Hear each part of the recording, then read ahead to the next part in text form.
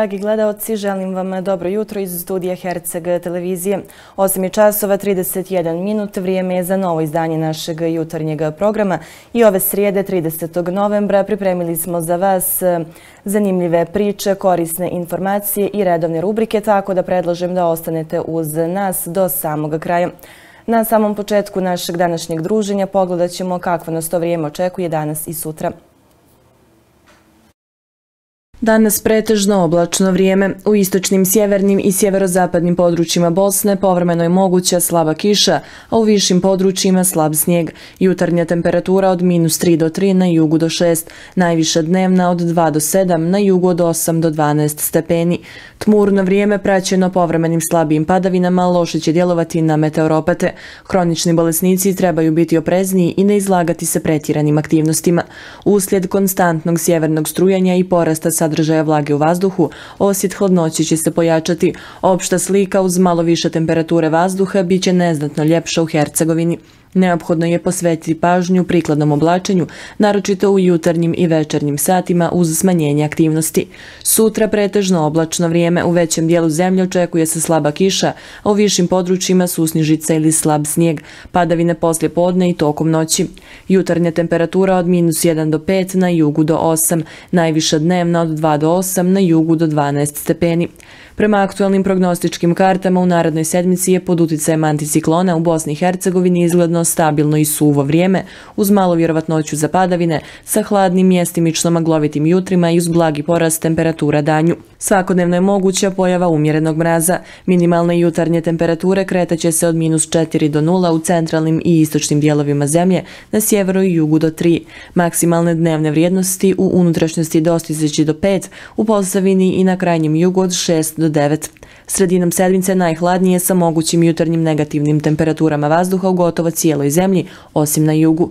Uslijed dugotrajne magle, maksimalne dnevne u Bosni dostizaće svega par stepeni iznad nule.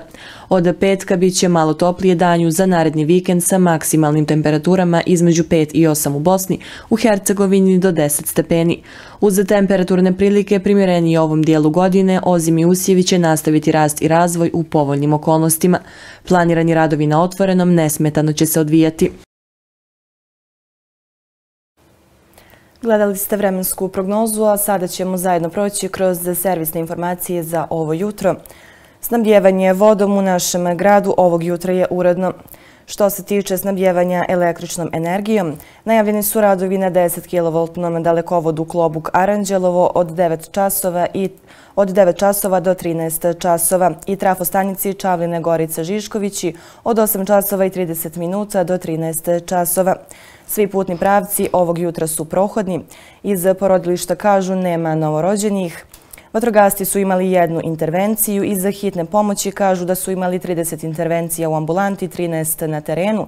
I u 7 časova ovoga jutra u našem gradu izmjerena je temperatura od 7 stepeni Celzijusa.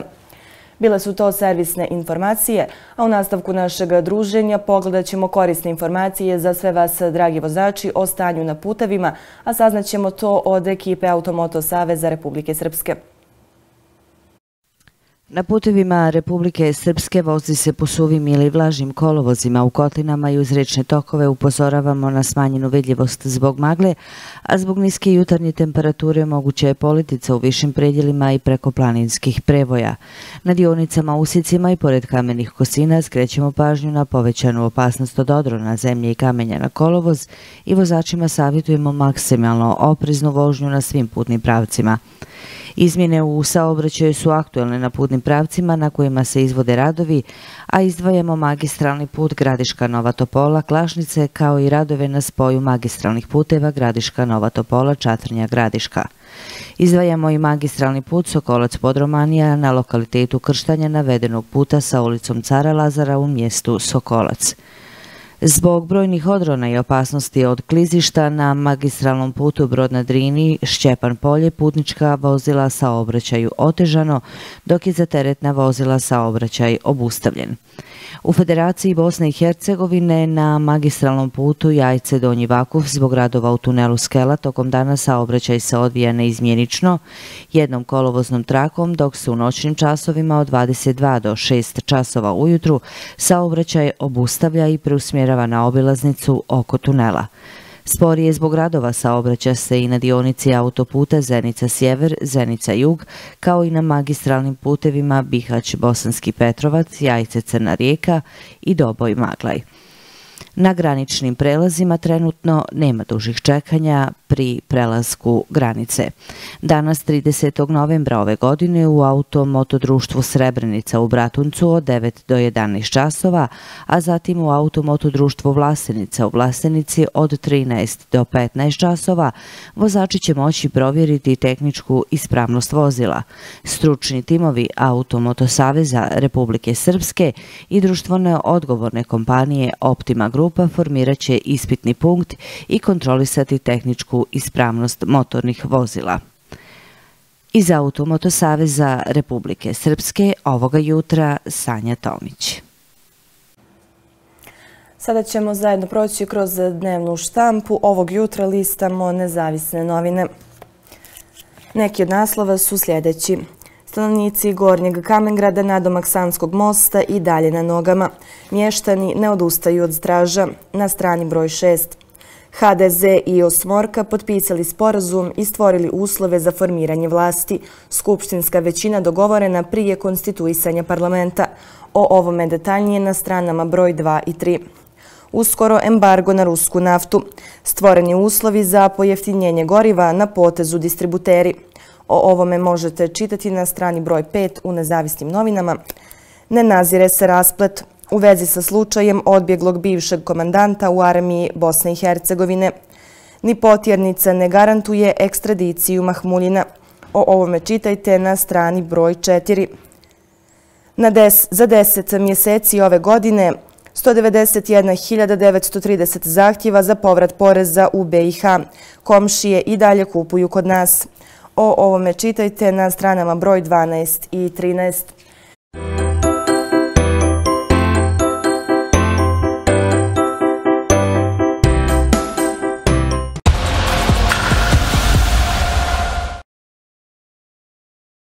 Sveki, baš mi je žao, ali nema šanse da se izvučem sa posla. Izvinjam se, šefe, javljam se čim ozdravim.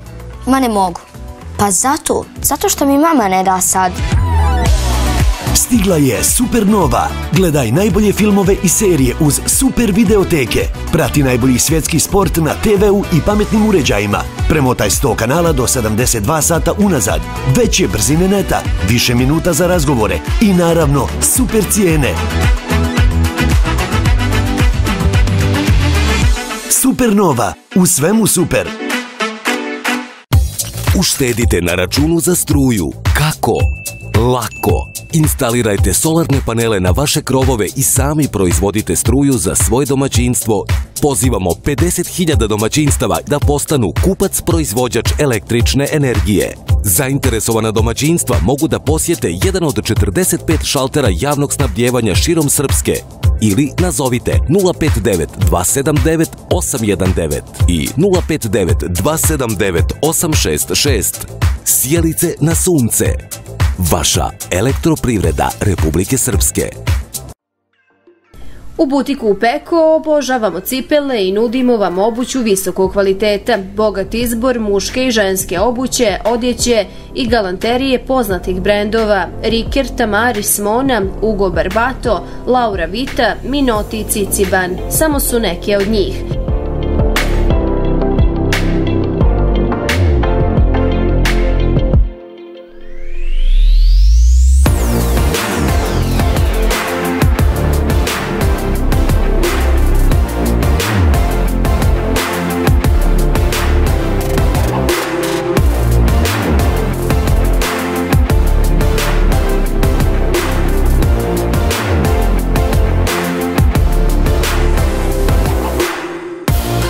Nalazimo se na glavnoj ulici na adresi Kralja Petra I.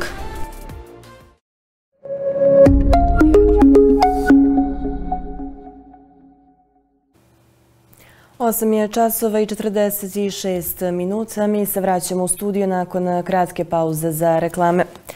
Dr. Goran Topić, specijalista nefrolog iz Banja Luke, dr. Pavle Arambašić, specijalista gastroenterolog iz Banja Luke, primarius dr. Mladen Đurđević, specijalista gastroenterolog hepatolog iz Banja Luke i dr. Renata Tamburić, specijalista gastroenterohepatologije, ordinirat će u javnoj zdravstvenoj ustanovi bolnice Trebinje 9. i 10. decembra. Broj telefona za informacije i zakazivanje pregleda je 065 471 603. 3. Dr. Aleksandar Ristović, specijalista neurohirurg iz Švajcarske, ordinirat će u javnoj zdravstvenoj ustanovi bolnica Trebinje 12. i 13. decembra. Broj telefona za informacije i zakazivanje pregleda je 065 987 418. Tradicionalnu humanitarnu manifestaciju 11. Trebinski kroz protiv dijabetesa organizovalo je gradsko udruženje dijabetičara sa ciljem da se podigne svijest o sveprisutnjoj pojavi ove bolesti kod djece. Udruženje okuplja djecu oboljelo od dijabetesa iz Trebinja i ostalih opština Istočne Hercegovine, trenutno broji oko 29 članova. Detaljnije u prilogu koji slijedi. Više od 480 učenika trebinskih škola trčalo je danas kroz protiv diabetesa s ciljem da se podigne svijest o sve prisutnoj pojavi ove bolesti kod školske djece. Tradicionalnu humanitarnu manifestaciju 11. Trebinski kros protiv diabetesa organizovalo je gradsko udruženje diabetičara, u kojem su izrazili zabrinutost jer je diabetes u porastu iz godine u godinu. Ovo su jedni načini e, preventivnih mjera. E, dijabetes diabetes tipa 1, da se razumimo, ne može da se prevenira, ne može se spriječiti. Ovaj, ali se diabetes tipa 2 može spriječiti. Znači i gojaznost i mogu se promijeniti zdravi stilovi života i neke druge nezarazne hronične bolesti. Što je znači ovakav vid aktivnosti i fizička aktivnost i eto jedan apel E, da je fizičko vaspitanje u osnovnim školama prvi i najvažniji predmet. Jer zdravo dijete može završiti fakultet i naučiti matematiku i sve drugo. Znači, fizičko vaspitanje, nastavnici, treneri, e, mladi roditelji, pustite djecu vani da trče, e, da se bave sportom i diabetičari i osobe s diabetesom mogu čak i profesionalno da se bave, znači to čak poboljšava glikoregulaciju ovaj, bolesti. Načelnik odjeljenja za kulturu, porodicu, sport i obrazovanje grada Trebinja Slađana Skočajić rekla je da gradska uprava pruža podršku porodicama i djeci koja su oboljela od diabetesa tip 1, jer tako pomažu da ova djeca ne oboljevaju od svih pratećih bolesti koje su uzrokovane diabetesom. Ono što grad Trebinje svakako podržava to je pomoć porodicama djeci koja su oboljela od diabetesa tipa 1, jer e, smatramo da na takav način, e, pomažući da adekvatno brinu o zdravlju svoje djece, pomažemo da njihova djeca ne oboljevaju od svih pratećih bolesti koje prate, nažalost, diabetes ako se ne vodi računa i smatramo da pravimo uštedu u zdravstvenom sistemu jer kasnije se neće liječiti, ne znam, oboljevanje bubrega, vida, željeza sa ovom zračnim izlučivanjem. Dakle, mi preventivno radimo na tome da naša djeca odrastaju zdravo. Trebinski kros protiv diabetesa trebao je da se održi 14. novembra, kada se obilježava svjetski dan borbe protiv diabetesa, ali je odgođen za danas radi kiše. Sada pričam idemo nešto dalje od Trebinja. Naime, porodica Vujović iz Donje Gorice bavi se proizvodnjom šampinjona, što je rijetkost za naše prostore. Pričom vas vodimo u fabriku za proizvodnju šampinjona. Da je ideja jednako važna koliko i njena realizacija potvrdila je porodica Vujović iz Donje Gorice. Plodno Lješko polje nametnulo ime potrebu da se bave poljoprivrednom proizvodnjom, a preduzetnički duh ih je doveo do rijetke proizvodnje u Crnoj Gori, proizvodnje šampinjona, kaže Zorica Vujović. Mi smo se uvijek bavili e, poljoprivrednom proizvodnjom, nekad je to bila plastenička i na otvorenom, pa smo posle toga radili čak i neku eloksiranu bravariju i onda je suprug došao na ideju, znajući da tržište nije zasićeno sa sa proizvodnjom šampinjona i da nije dovoljno e, pokriveno, došao je na ideju da krene i sa tim i onda smo te hale koje smo imali za eloksiranu preradili, renovirali i napravili e, tada u nekim improvizovanim uslovima e, proizvodnju šampinjona. A borili su se na pravi način. Od 2011. kad su krenuli, a već naredne kad su se registrovali i krenuli ka tržištu, znali su da su potrebna velika ulaganja kako bi se razvijali, bili konkurentni, kvalitetni. Šansu su vidjeli i dobili preko projekata i parda.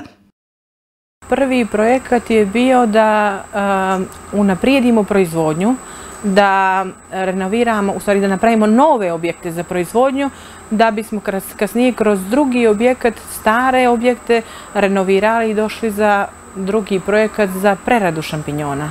Tako da sa prvim projektom smo napravili osam novih termotunela, automatizovano je sve po evropskim standardima. A kad je u pitanju drugi projekat? Novirali smo stari objekat i napravili pogon za preradu šampinjona, za pasterizaciju i mariniranje.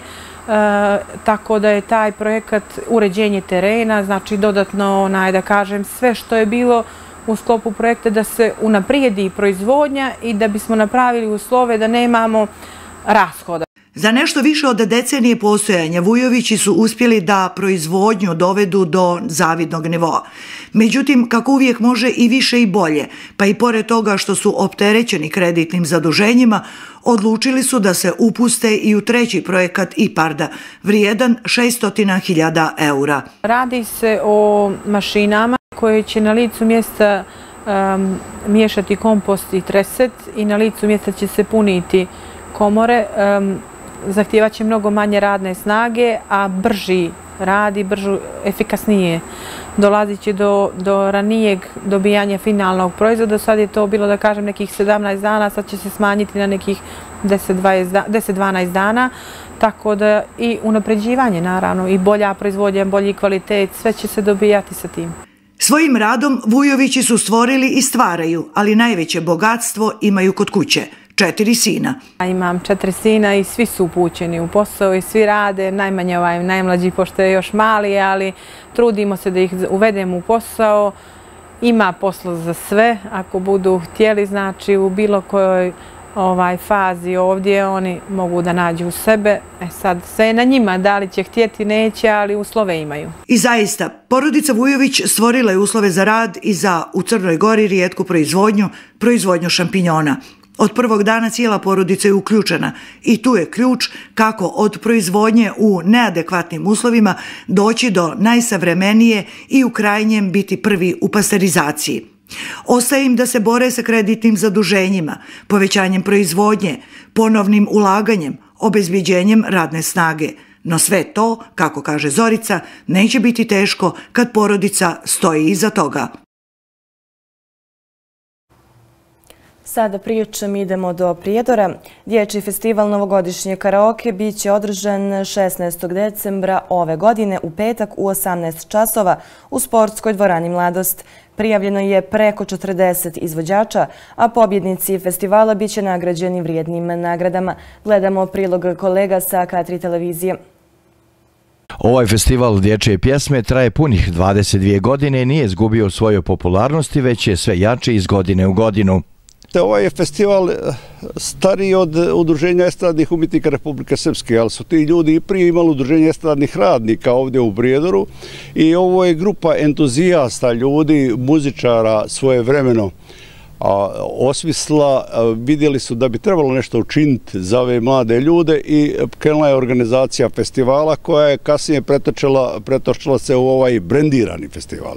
S tim da kažem da nije to samo djeca iz, iz Prijedora.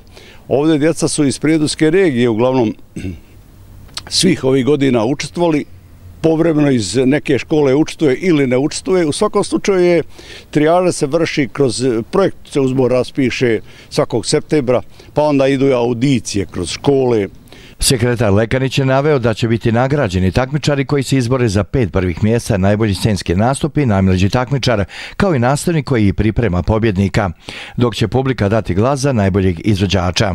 U revelnom dijelu nastupit će dosadašnji pobjednici ovog festivala koji će na taj način podržati mlađe kategorije. Ja mislim da će biti dobro obzirom da sam ja bio na čelu ove ekipe kao ovaj producent, da kažem, koordinator festivala Imam sjajan tim. Ja sam zadovoljan kao rukovodlac sa mojim drugarima, profesorima koji su članovi ovog tima i mi godinama to činimo, kvalitetno radimo, a ovaj žiri danas koji je ovdje, on je već slušao, mi smo već tu djecu slušali kroz audicije i već vidimo gdje stojimo, a mislim da stoji se visoko i ove godine da će biti kvalitet na nivou. Festival će biti održan u sportskoj dvorani Mladost, organizuje Prijedorska podružnica Estrade Republike Srpske. Pokrovitelj festivala je gradonačelnik Prijedora.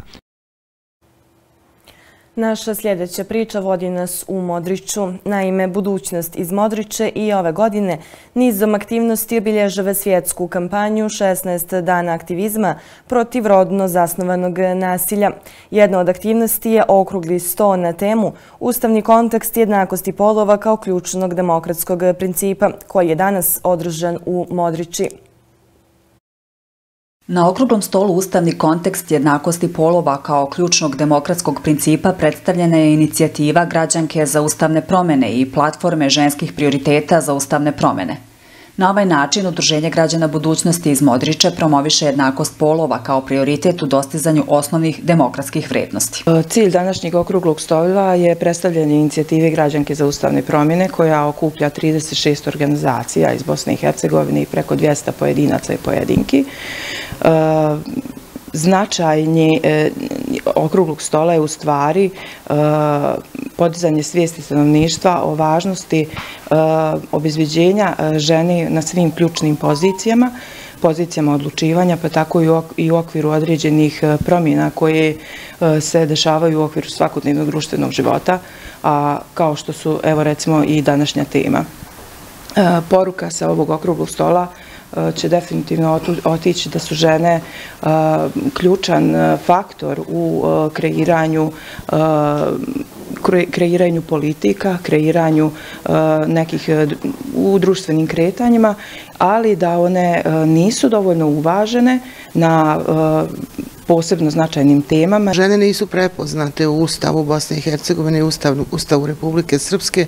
Iz tih razloga mi tražimo da, se, da žene budu prepoznate i sve ono što smo govorili, što je koleginica govorila, da su žene neravnopravne u svim aspektima društva, pogotovo u oblasti odlučivanja i, i, i rada na svim javnim funkcijama, tako da je jedan od razloga i to što, tra, što tražimo da se ustavu žene, da budu zastupljenije žene. Okrug sto održan je u okviru kampanje 16 dana aktivizma koji je Udruženje građana budućnost počelo da obeležava 25. novembra učešćem na sajmu rukotvorina u Modrići, te će održati i niz drugih aktivnosti sa ciljem podizanja svesti kod građana o značaju borbe protiv nasilja nad ženama.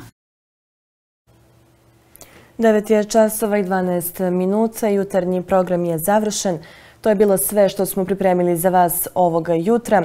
Nadam se da su vam naši prilozi i informacije bili podjednako i zanimljivi i korisni.